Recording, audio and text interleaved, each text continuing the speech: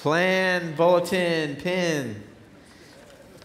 Let me see your Bibles this evening. There we go. It's the only one that's really important. Open your Bible, please, to Matthew. Matthew is the first book of the New Testament, one of the four Gospels. Matthew 22.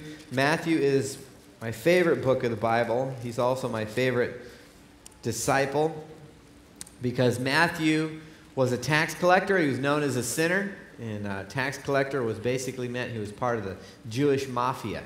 And he would take the money uh, for the Romans and he would take a bunch for himself and turn it back in. And, and people despised tax collectors and hated them. And one day, after doing this for his whole life, Jesus came to him and he just said, Follow me. And he left it all behind and he followed him. So he's always been my favorite person in the Bible. I always start my messages um, with Matthew. Matthew 22, verse 36 says, You must love the Lord your God with all your heart. Or no, it starts in 36. says, Teacher, which is the most important commandment of the law of Moses? Jesus replied, You must love the Lord your God with all your heart, all your soul, and all your mind. This is the first and greatest commandment. A second is equally important love your neighbor as yourself. The entire law and all the demands of the prophets are based on these two commandments.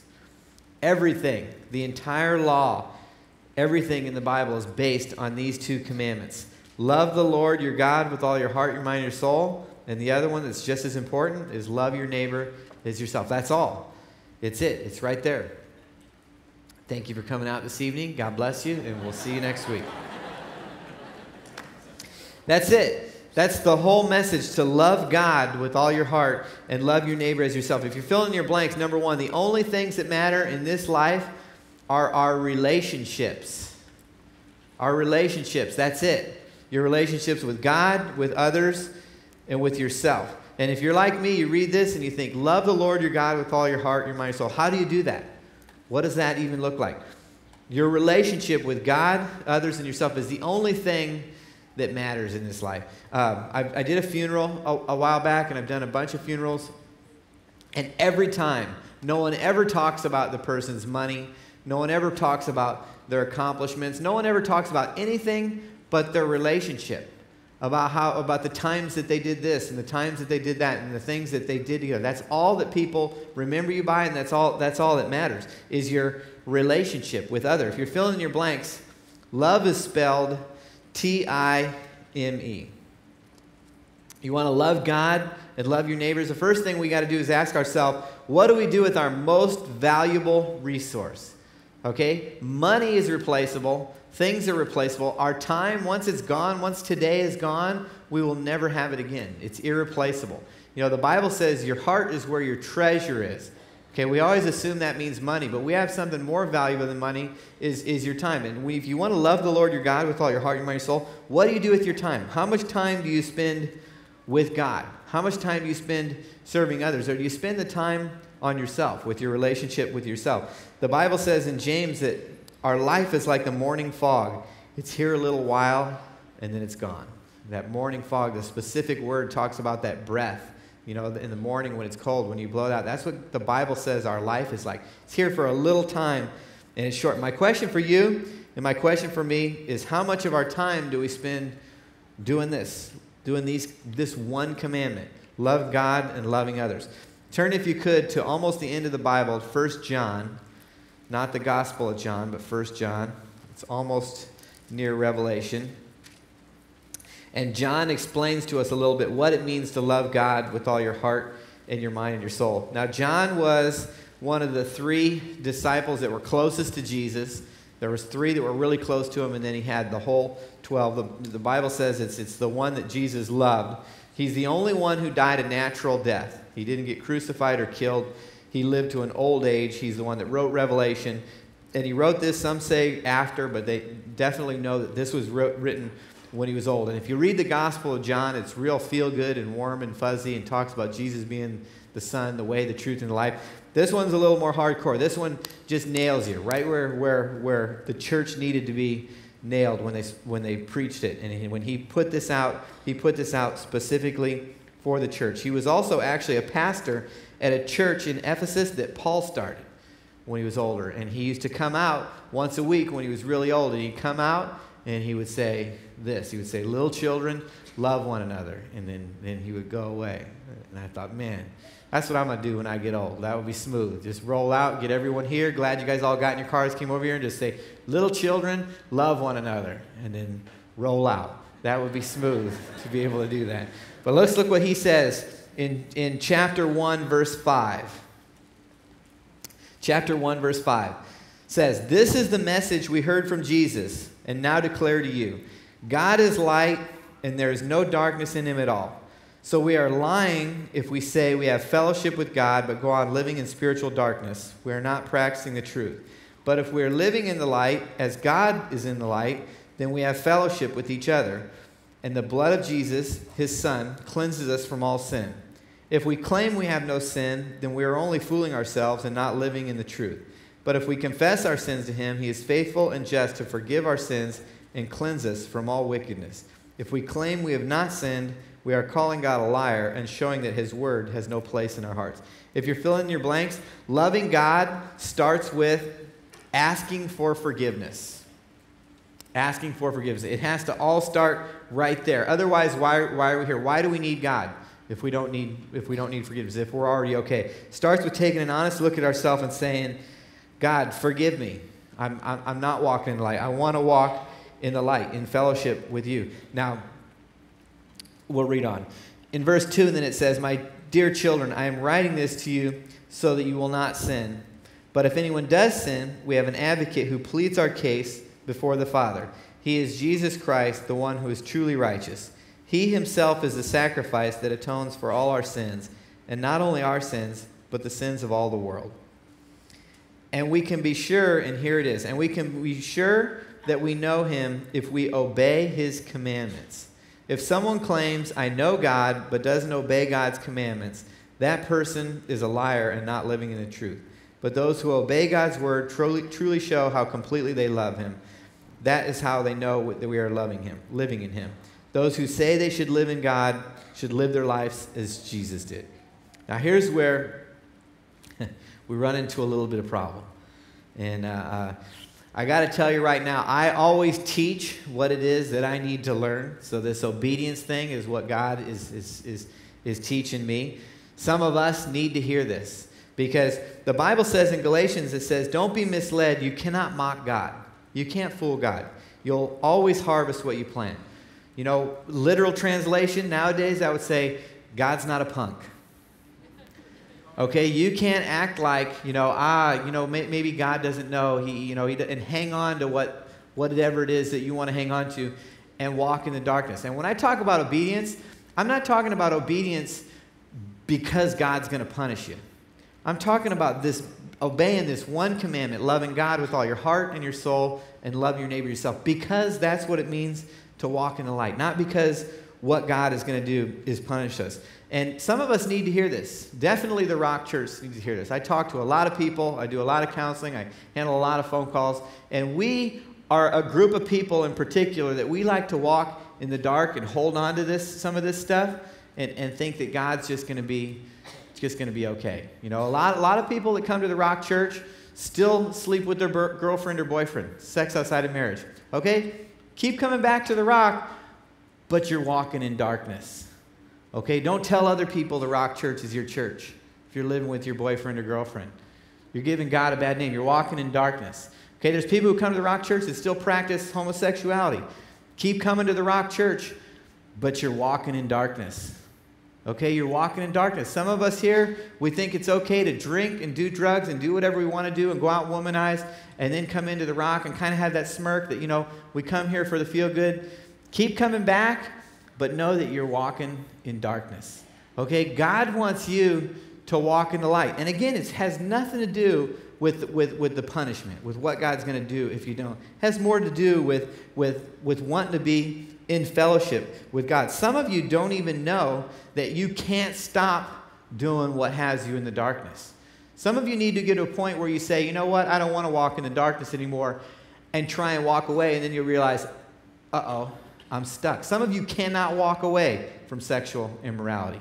and you don't even know it yet. And you won't know it till you try it. Some of you cannot walk away from drugs and alcohol, and you don't even know it. And you won't know until you try. Some of you can't walk away from whatever's got you stuck in the darkness until you realize you can't do it on your own and you say, God, because look right here what it says if we, uh, if we confess our sins, He's faithful and just not only to forgive us, but to cleanse us from all unrighteousness. We need God to cleanse us to be able to walk in light. We can't do it on our own. We just can't. And again, it's not because, for me, the, the, the, the fear of hell and, and God's wrath, it should scare me. But it doesn't. It doesn't. For some reason, I want to walk in the light of God. I've never been one that's really scared of the consequences. I've seen a glimpse of what it's like to walk in God's light, and that's what, what, I, what I want. You know, that's where I want to remain. But I realize I'm stuck in all these darkness things. Now, again, I always teach what it is that, that I need to learn. And, and uh, uh, you know, obedience, obey, for me, it's a four letter word. You know, it's not, not, I don't have the spiritual gift of, uh, uh, of obedience. Um, I've never, you know, it's not natural for me. I, I'm not inclined to be obedient. Every time I get a rule from, from the world, the first thing that goes through my mind is, is why is this a rule? And, and what happens if I don't follow this rule? And can they really make me follow this rule. Because if they can't make me, chances are, unless I feel like it, I'm probably not going to go with the, with the flow of that. I'm not talking about that kind of obedience. I'm talking about obedience to God that just says, hey, I want to walk in the, in the sunshine God. In my house growing up, when I was a kid, growing up in uh, South Omaha, Nebraska, uh, anybody from Nebraska? Anybody get a, a yahoo? All right, here we go. Welcome, welcome. Thank you for coming out this evening. Uh, when I was growing up in my household, there was obedience, okay? If, if, especially if my dad was home. You know, it was, it, was, it was one of those things where you just, you respected your parents, period, or there would be, there would be consequence. I mean, if I, if I even went like that to my dad, it would be like, boy, did you just smack your lips me? Instantly, I would know you know, the, the result of, of, whether that was okay or not. And you know what? I'm glad for that because that's probably the only thing that kept me from, you know, nowadays, I mean, we didn't have, they didn't have child protective services in Nebraska or anything like that. It, it wasn't like my parents said, oh, you're going to take a timeout. You know, we're going to have you, you sit in the corner and do something. Nowadays, it's like they're trying to make it like throw you in jail if you spank your kids, which is to me the dumbest thing I've ever heard of in my life. I would have been in trouble had my dad and uh, not at least had had I not had that one person in my life who could tell me what to do that I that I wouldn't backtalk to. You know, outside the house, it was a little bit different because you know, pops is not around. I'm free. You know, I could do whatever I want. I didn't have quite the same respect for the other authority. And the police, you know, growing up, they'd put you in a little timeout every once in a while, lock the door for a little bit. And, um, you know, I remember the first time I got arrested, I was 12 years old, and uh, I was stealing some candy bars. I remember there were king size crunches from the uh, uh, convenience store. I remember there was three of them. And the uh, police took me down, and they, they locked me in a cell. 12 years old, locked me in a cell and walked in the other room. They came back out. And I was thinking, even at the time, I was thinking, I'm 12. I already know they ain't going to keep me here. And, and my, my thing that I'm thinking is I'm saying, hey, is there some way this can go down without letting my parents know? Is there anything I could do? I'm sorry. I started realizing where this was going. The, the, whole lockup, jail, you know, that didn't, it was, it was, what's going to happen when I get home? This is not going to end well. If we could somehow just, if we could find my mom and talk to her first, it would up my chances of survival. It just wasn't gonna, it just wasn't gonna end good. Well, we went home and the, the, the cop had coffee with my parents for about an hour and I'm, I'm upstairs in my room and I'm, and I'm, I'm like, you know, just waiting. It's, it's coming. And, and it, it didn't come that night. And the next day, you know, nothing, nothing. And, and I'm scared to come out of my room. And it's literally like uh, Saturday morning at like three in the afternoon. I'm starting to get hungry. I'm like, all right. I'm, you know, I come out and I and, and I run across my my pops and and you know what he said? He said, uh, "I'm so ashamed of you. I can't even look at you. Don't even come near me. Stay away from me. You're not you're not even part of this family." Ah. Uh, you know what? I could handle the, the whooping. I could handle and deserve the whooping. That was fine. Let's get it over with. But for him to say, you know what, you're not part of what, what we are here. This is not how we roll in our family. You're, you're, you're, you're cast out. This is what it means to me to have obedience. I want to be like this with God. I don't want to be separated, not because of the punishment, because I just don't want to break that fellowship. You know, it happened, a, it happened a few times actually growing up, little timeouts here and there. And one time I remember uh, we used to steal jeans from Brandeis, this department store. We'd put on a bunch of pair and, and run out. And one time I put on like five pair. And, and I mean, you can tell by looking at me, I'm quick, you know, run like a deer. Well, at, the, at, this time I had five pairs of pants on. It was like running in moon things. And usually they didn't chase us, but this time they went ahead and chased me and caught me. And, uh, you know, when they, everyone knew my dad. He was a, a, captain on the fire department. It was a small community. So this time when they locked me up, you know, and they used to stretch out the times that they would leave me in there a little longer and a little longer. And this time the, uh, uh, the jail guy, jail guard, whatever came to me said, is there someone else we could call? Because uh, your dad said just to leave you here. you know what? That hurt. That hurt. That hurt more than all, than all the weapons I got. And when I left there, I went to Las Vegas and, and I, I lived for years just on the, on the south, on the, on the dark side. And, and what hurt me most was knowing that I was, had broken fellowship with my family, that, they were, that that was not a part, I was not welcome in their, in their house anymore because of my lifestyle.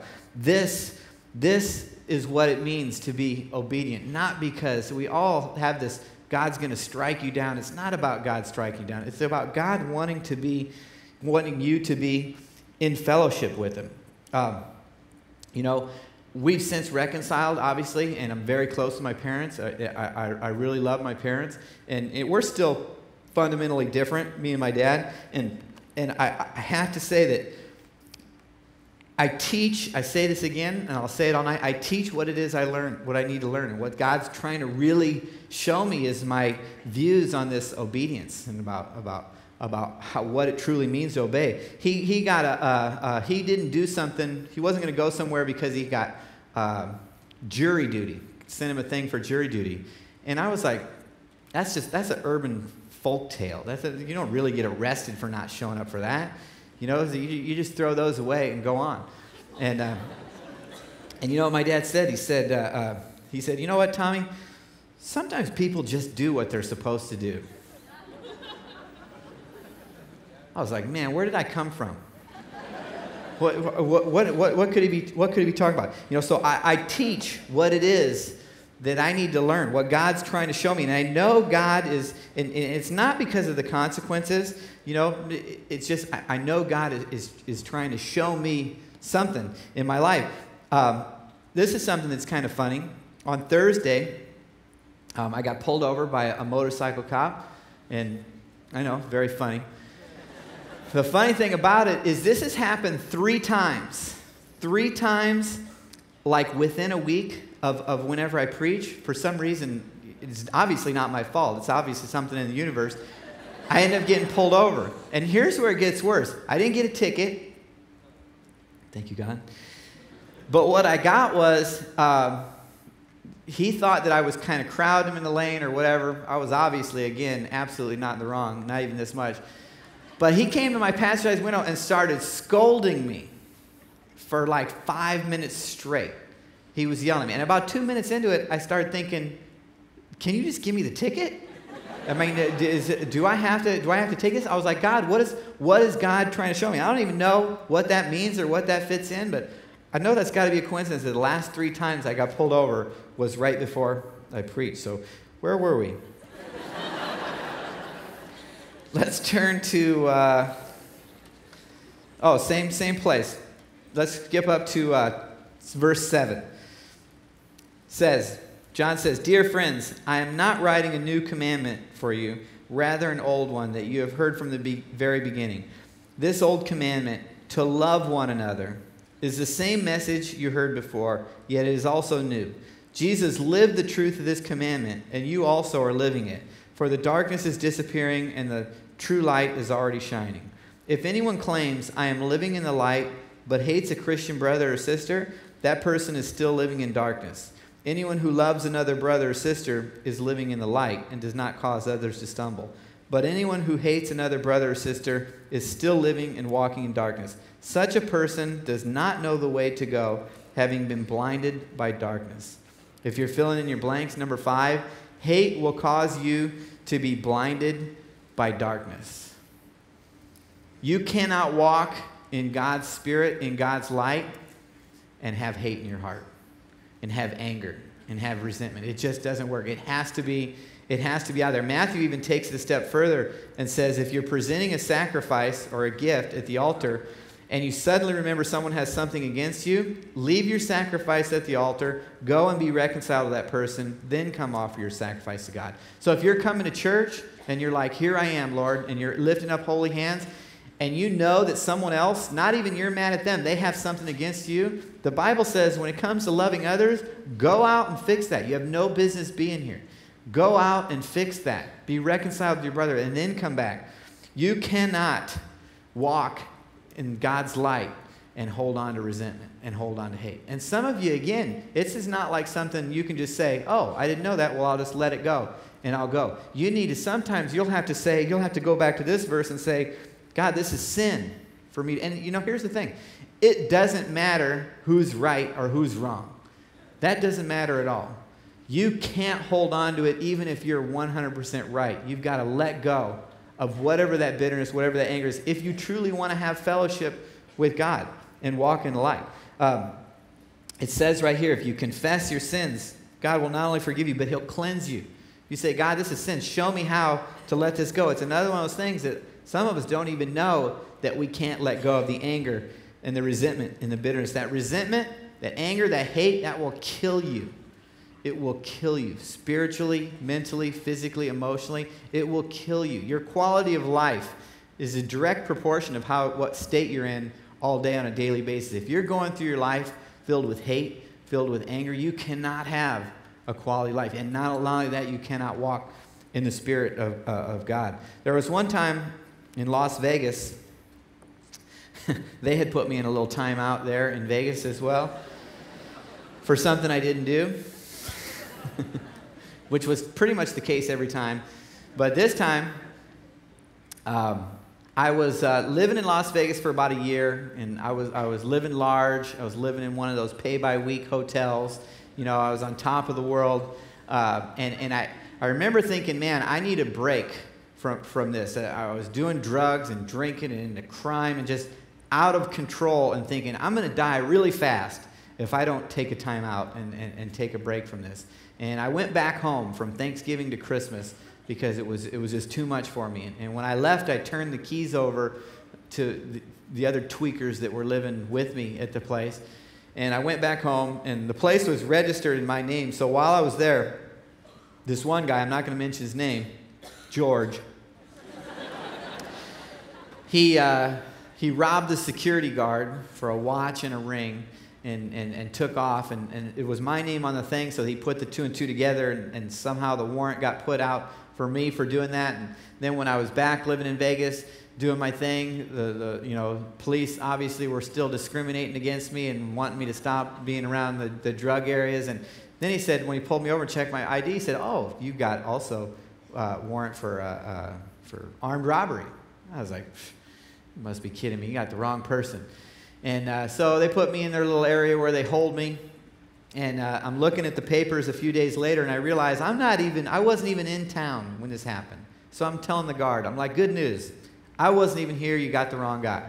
You know, turns out everybody says that when they're in jail. They don't really care about that.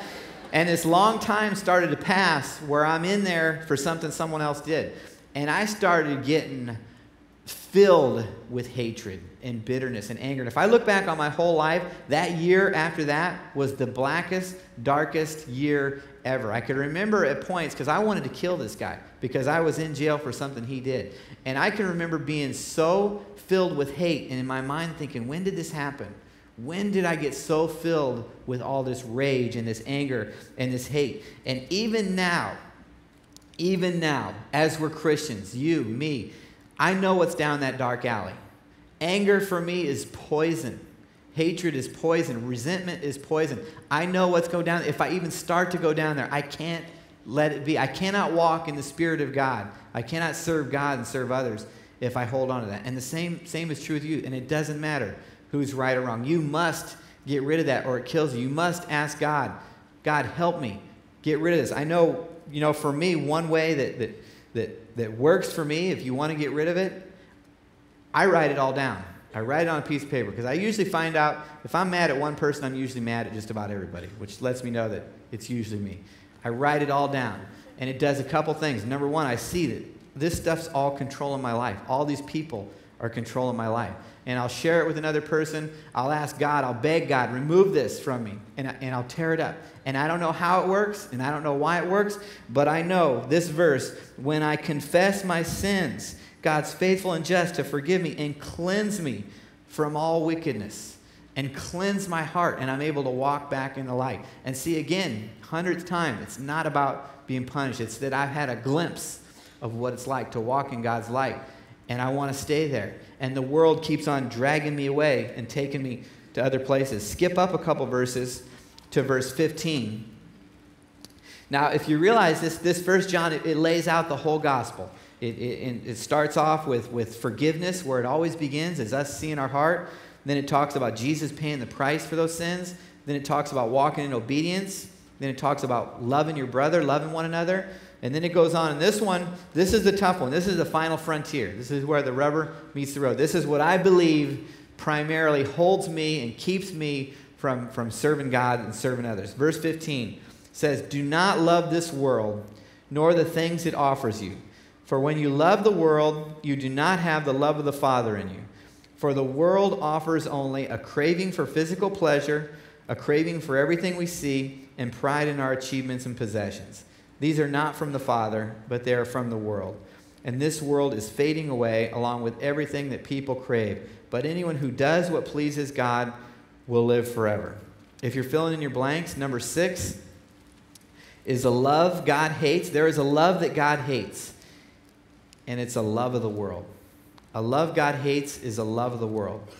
If you want to love God, if you want to follow this one and only commandment, here's what you have to do you have to stop loving yourself.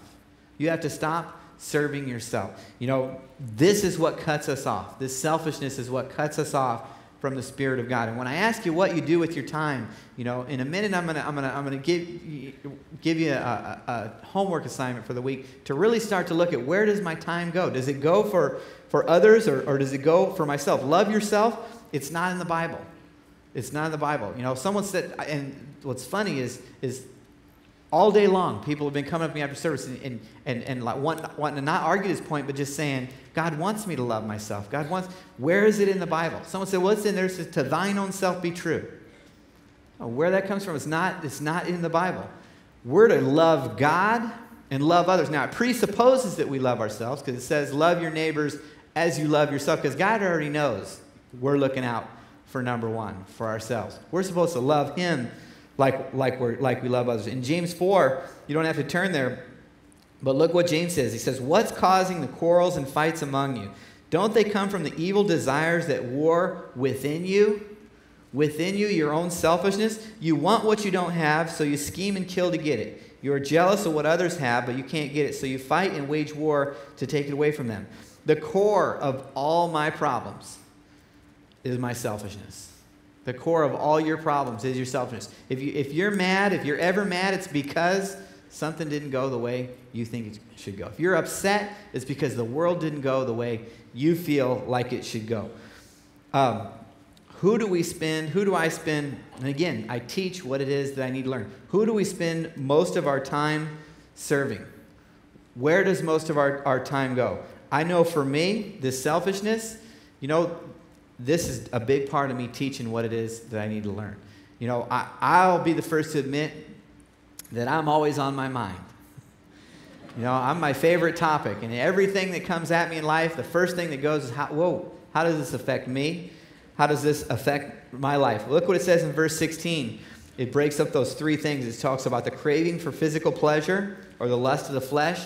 That means your lust, for sex, for drugs, whatever makes your body feel good, for, for power, that lust of the flesh, We can't walk in the Spirit until we address this. The Bible says we have to crucify our flesh, we have to die to ourselves. That God is the only thing in us that, that, that's good, that we can live for. The craving for everything we see, which is the lust of the eyes. And man, we live right now in a world and a time where toys are, are everywhere. I mean, I can think of like the top hundred things that I want. The world is filled with stuff that just, wow, to fill that lust of the eyes. And then the big one, I believe, pride in our achievements. Or some of your versions say the pride of life. Pride of life. The Bible says God hates pride. He opposes the proud, but he gives grace to the humble. God hates pride. The first sin was what? When Adam and Eve ate the apple, right? Wrong. Wrong. The first sin was when Lucifer, who was the top angel, decided, hey, you know what? I can be like God. Pride. That pride was the original, original sin. Then he tempted Adam and Eve. He said, I can be like God. God hates pride. We have now, because of our sinful nature, we have ingrained in us this need for significance, this desire that we should be significant, that, that, that drives us. And if you listen for it in your own words, in everyone's words, you'll hear it all week long. People relentlessly will come up and tell you what they're doing what I'm doing. You'll find yourself start letting people know, I'm doing this, I'm doing that. Everything you say, you start to realize, wow, I do build myself a lot. In the Christian community, we do a lot of, uh, you know, we mask it as, let me just share with you what God's doing in my life. And then they, boom, go into the whole significance. I have a lot of people come to me say, I got to get to Miles to tell him what God's doing. Nah, that's just your need for, for significance. You feel like you, you got to be part of this. The Bible doesn't have anything to say about us needing to be significant. The Bible talks plenty about God loving us, none about us, us loving ourselves and our need for significance. And again, I teach what it is I need to learn. Um, you know, we, we spend a lot of time thinking, you know, about what others think of us. You know, you spend a lot of time thinking what other people thinking about you. And what you don't realize is, is ain't nobody thinking about you. Ain't nobody thinking about me. We think they are. We think they're thinking this, that. They're thinking about themselves. Nobody thinks about you as much as, as you think they do. And if, if they were, who care? But the, the fact is, you know, we spend, we're always, all of us, we're always on our mind looking at how life affects us. Now, I have a question for you. Because um, our key is going to be to start to loving God and loving others, is going to have to be for us to realize, wow, I, I do spend too much time serving myself. I don't spend any of my time serving God or serving others, or I need to spend more time serving God and serving others. And it, and it, it takes action. It takes, it takes for us, uh, uh, takes for us, you know, to, to actually do something, not just think about it, not just pray about it. Um, I'm going to read you a couple verses. These are actually uh, right afterwards. They're bonus verses. No extra charge for this little nugget. Actually, maybe we will take another offering because this one's going to be good. No, just kidding. It says, it goes on, it says, John says, Dear children, the last hour is here. You have already heard that the Antichrist is coming, and already many such Antichrists have appeared. From this we know the last hour has come. Now, you've heard about uh, uh, uh, Antichrist, probably. And, and, some of you have this idea that it's this person that will rise up to power in Revelation or something like that, or whatever MTV or, or whatever the movies have told you the Antichrist is. Do you know the Antichrist is only mentioned here? That's it. And the Antichrist, and it defines what it is in 22. It says, And who is a liar? Anyone who says that Jesus is not the Christ. Anyone who denies the Father and the Son is an Antichrist. Anyone who says Jesus is not the Christ is an Antichrist, according to the Bible anyone. Now, does our society have a lot of people who say that Jesus is not, is not the Christ? I mean, our whole society sometimes will say Jesus is not the Christ. There's very influential people that will tell you Jesus is not the Christ. Now, I'm not going to mention any names, Oprah. But if it doesn't affect you or scare you or make you think that where our world's going, when you have very powerful, influential people saying, hey, Jesus is great, but he's not the only way. Jesus is not the only way. You know, the culture, the culture tells us there's other ways. To thine own self be true. You know, be true to yourself. Be nice to yourself. You have your own flesh that's telling you, serve yourself. You have the enemy telling you, serve yourself. You have the whole society telling you, serve yourself. The only one that's telling you to serve God and serve others is God. We have all these forces going against us. And I know some of this stuff, it sounds unreasonable. It sounds unreasonable for, you know, it's a good message to say, love yourself. It feels good. When you start to tell me that loving myself is the problem, that's, that's not a good message for me. You know, the whole world tells me it's different than that. It sounds unreasonable. You know, unreasonable people are the ones that shape the world. You know, Jesus was unreasonable in what he said. Don't get caught up in the hypnosis of what the culture is telling you and what the world is telling you and what, what people that are antichrist, anti-Jesus are telling you. To go this way. Just do, just do your own, do your own thing. You know, the good news for me and for you is God knows our hearts. Okay, when you ask God to show you your heart, and He shows you your heart truly, um, the other thing He'll do is He'll also show you His grace. He'll show you His grace and what, because where sin abounds, grace abounds more. I'm going to read to you something that Paul wrote in uh, Romans. Now, Paul was was arguably the greatest apostle of all. I mean, he wrote over half the New Testament. He was the man. You know, he was smart. He was, he was, he was just the man. He was, he was chosen by God. Look what he writes. Paul says, So the trouble is not with the law, for it is spiritual and good. The trouble is with me, for I am too human, a slave to sin. I don't really understand myself for what I want, for I want to do what is right, but I don't do it. Instead, I do what I hate. But if I know that what I'm doing is wrong, this shows that I agree that the law is good. So I am not the one who doing wrong. It is sin living in me that does it.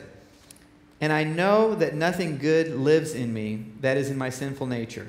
I want to do what is right, but I can't. I want to do what is good, but I don't. I don't want to do what is wrong, but I do it anyway. But I do what I don't want to do. I am not really the one doing it. It is sin living in me that does it. I have discovered this principle of life that when I want to do what is right, I inevitably do what is wrong. I love God's law with all my heart, but there is another power within me that is at war with my mind. This power makes me a slave to the sin that is still within me. Oh, what a miserable person I am. Who will free me from this life that is dominated by sin and death? Thank God. The answer is in Jesus Christ our Lord. Paul, the greatest apostle of all, if he struggled with sin and wanted to live in the light but kept getting pulled in the darkness, how much more are we? You're not going to be able to be sin free until we have our glorified body, until we, until we leave this, this earth. There will always be this struggle. But what God wants to know is what's your heart? What is your heart? Do you want to be holy? Is this something you desire? Because here's the thing if you are mocking God, just saying, I'm good, I don't need to be, you need to question yourself if you're really in the faith. Because if you've truly accepted Christ in your heart, you will have the Spirit of God in you that desires to be holy. You will have that war with your flesh. It won't just be, I'm good, me and God are good. You'll want to be holy. You'll have had that glimpse of the light and want to go towards that. And my prayer for you, and, and the question I have for you this week, and, and my encouragement for you, is this is going to take you know, uh, and again, this is, this is us trying to walk in the light. This is not me trying to tell you how to walk in the light. This is us trying to truly say, God, I want to love you with all my heart, my mind, and my soul. I didn't even realize I had so much in, in, stuck to me. I, I want you to forgive me. I want you to cleanse me. I want to walk in this light. I want to do that. And it starts with us saying, first of all, is this true? Is this really where we're at. And my question for you this week, and I'm going to pray that the Holy Spirit asks you this question all week long. All week long. My question that I want you to ask everything you do, every thought you think, every move you make, I want this question to go through your head Who is this for?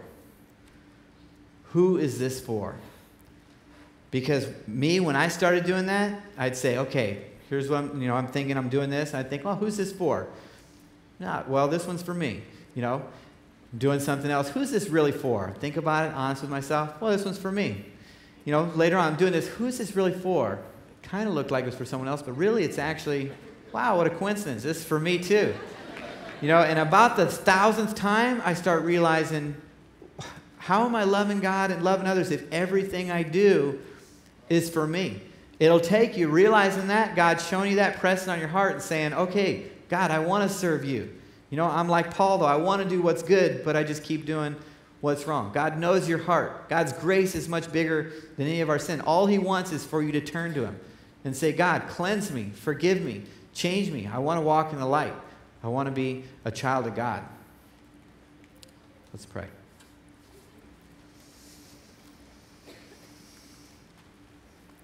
Lord, thank you so much for your clear, um, undeniable word. And Lord, we just humbly admit that uh, uh, without you, we're a wreck. And right now, Lord, even now, every person in this room and myself, I pray that you would forgive us the wickedness that dwells in our heart. That you would just cleanse it out right now. You would give us a glimpse of what it's like to truly walk through life without loving the world, without loving ourselves, without hating others, that we would truly be able to open our eyes spiritually to see your light. And Lord, we know that we can't do it on our own, but yet we know you call us to and you want us to. So we pray for your strength and your power. And Lord, I thank you so much for this church and Lord, for allowing me to be able to teach what it is that, that I need to learn. Jesus, we love you. And Lord, I do lift up to you any person in this room that maybe doesn't know you right now even now, I pray that as they heard your gospel, they would repent and believe. We love you, Jesus. Amen. God bless you guys.